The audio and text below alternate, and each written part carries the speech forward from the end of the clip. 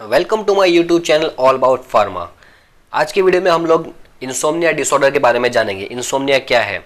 तो insomnia basically एक sleep disorder है, जिसमें हमें सोने में तकलीफ़ होती है ट्रबल फॉलिंग अस्लीप और स्टेइंग अस्लीप या तो दोनों। इसको बोलते हैं हम इंसोमनिया अब हम देखेंगे कि कितने टाइप्स के इंसोमनिया होते हैं। टाइप्स ऑफ़ इंसोमनिया बेसिकली दो टाइप्स के इंसोमनिया है। Primary insomnia and secondary insomnia primary insomnia में क्या होता है कि पर्सन जो, जिसको स्लीपिंग की प्रॉब्लम है, वो डायरेक्टली एसोसिएट नहीं होता है उसके हेल्थ कंडीशन या प्रॉब्लम से।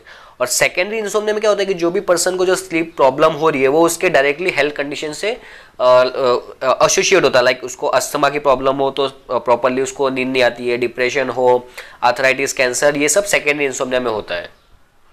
अब देखते हैं इंसोमनिया के कॉजेज़ क्या क्या है। तो इंसोमनिया के कॉजेज क्या है कि इसमें पुअर स्लीप हैबिट आपकी स्लीप हैबिट अच्छी नहीं है, दूसरा स्ट्रेस काफ़ी ज़्यादा स्ट्रेस डिप्रेशन मेडिकेशन ज़्यादा वगैरह ज़्यादा लेते हैं हैवी मील ले लिया हो कैफीन का इंटेक ज़्यादा हो निकोटीन वगैरह कंजम्पशन अल्कोहल कंजम्पशन ज़्यादा करते हो तो प्रॉपरली नींद नहीं आएगी। या तो ट्रैवल और वर्क शेड्यूल आपका ट्रैवल और वर्क शेड्यूल काफ़ी हैवी हो तो ये सब इंसोमनिया के कॉजेस हो सकते हैं। अब हम इंसोमनिया के पैथोफिजियोलॉजी की बात करते हैं। अगर इसकी पैथोफिजियोलॉजी की बात बात करें हम लोग तो इसको हम थ्री मॉडल से ज़्यादा हम इसको बेटर अंडरस्टैंड कर पाएँगे। जो थ्री मॉडल जो डेवलप किया था, वो स्पिलमैन नाम के साइंटिस्ट ने किया था इन 1986 में।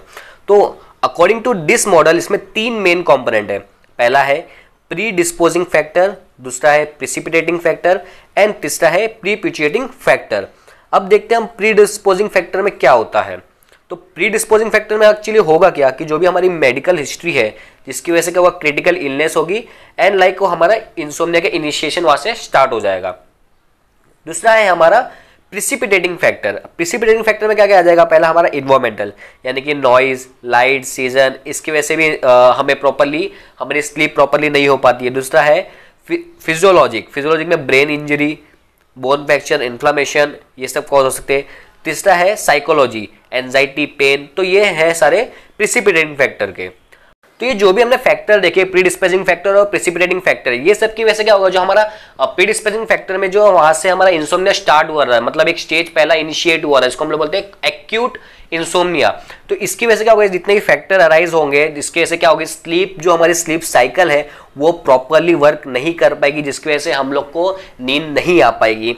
तो ये स्टेज होते होते हम लोग क्रॉनिक स्टेज में पहुँच जाएँगे, जिसको हम लोग बोलते हैं प्री पिचिएटिंग फैक्टर भी बोलते हैं। क्रॉनिक स्टेज में क्या क्या होगा कि हमारे फिजियोलॉजिक इंपेयरमेंट होंगे कॉजिनेटिव इंपेयरमेंट होगा और फंक्शनल इंपेयरमेंट ये सारे क्रॉनिक स्टेज में होंगे, जिसकी वजह से हमारी जो स्लीप साइकिल है, जो हमें नींद जो प्रॉपरली नहीं आ पाएगी।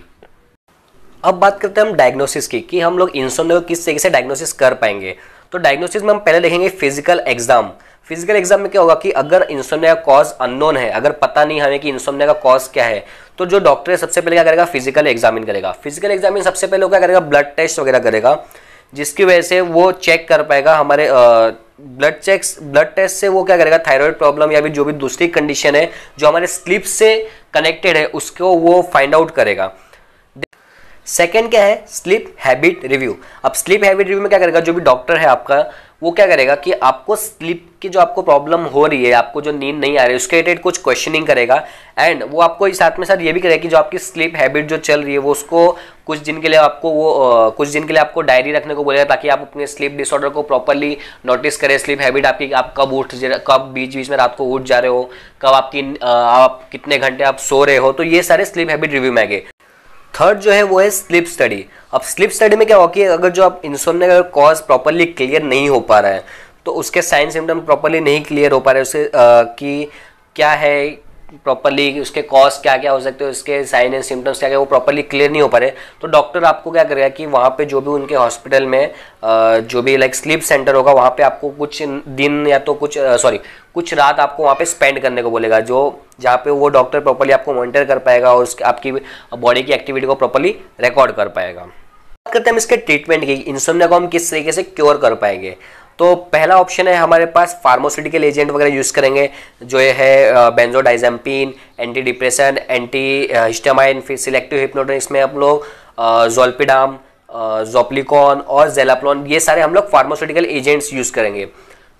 सेकेंड हमारे पास ऑप्शन है नॉन फार्मोलॉजिक ट्रीटमेंट अब नॉन फार्मोलॉजिक ट्रीटमेंट में क्या होता है, जिसके हम, जिसके अंदर हम लोग ड्रग का मेडिकेशन का यूज़ नहीं करते हैं तो उसको हम लोग बोलते हैं नॉन फार्मोलॉजिक ट्रीटमेंट अब उसमें हम लोग क्या करेंगे हम लोग एक sleep awake schedule time note उसका, उसको ऑप्टिमाइज करेंगे कि वो बंदा कब उठ रहा है कब सो रहा है, ये एक पूरा शेड्यूल तैयार करेंगे। देन जो भी मेडिकेशन वगैरह चल रही है, जिसकी वजह से इंसोमिया के कॉजेज होने के चांसेस हो सकते हैं, उसको एलिमिनेट करेंगे। देन जो उसकी स्लीप साइकिल जो पुअर है, जो स्लीप हाइजीन जो पुअर है, उसको हम लोग एजुकेट करेंगे, ताकि अपनी स्लीप शेड्यूल को स्लीप प्रॉपरली स्लीप हाइजीन अपना मेंटेन करे, उसके बारे में एजुकेट करेंगे। देन बहुत सारी थेरापी उसके साथ यूज़ करेंगे लाइक सीबीटी फॉर इंसोमिया जिसको हम लोग बोलते हैं cognitive behaviour therapy then relaxation therapy then stimulus control therapy sleep restriction and bright light therapy ये सारी थेरापी के थ्रू हम लोग उसको क्योर करेंगे। अब बात करते हैं सीबीटी के बारे में। सीबीटी क्या है? कॉजिनेटिव बिहेवियर थेरापी इसके अंदर फाइव सेशन चलते हैं। पहले सेशन में हमारे साथ क्या होगा कि हमको स्लीप और इंसोमने के बारे में एजुकेशन और उसको बारे में हम लोग को थोड़ा एजुकेट किया जाएगा। देन एक स्लीप डायरी बनाने को बोली जाएगी जिसमें हम लोग अपना स्लीप रूटीन मेंटेन करेंगे उसके बारे में लिखेंगे। देन सेकेंड सेशन में हम लोग उसको रिव्यू करेंगे। देन स्टिमुलस कंट्रोल इंस्ट्रक्शन मिलेगा। थर्ड में उसको वापस से रिव्यू करेंगे। देन हम लोग आइडेंटिफिकेशन करेंगे मॉडिफिकेशन करेंगे हमारे स्लीप शेड्यूल के अंदर जो स्लीप रिलेटेड जो भी हम बिहेवियर जो भी उसमें थोड़ा uh, उसको नोटिस करेंगे उसके मॉडिफिकेशन करेंगे ताकि हमारा स्लीप डिसऑर्डर ठीक हो पाए। फोर्थ सेशन में क्या करेंगे हम लोग?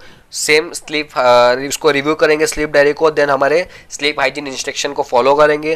देन फिफ्थ सेशन में क्या होगा कि ये ये जितने भी फोर्थ सेशन तक हुआ, उसके बाद भी अगर कुछ चीज़ें बच जा रही है, जो हमारे स्लीप डिसऑर्डर को स्लीप हाइजीन को प्रॉपरली मेंटेन नहीं होने दे रही तो उसको भी हम लोग एलिमिनेट करेंगे।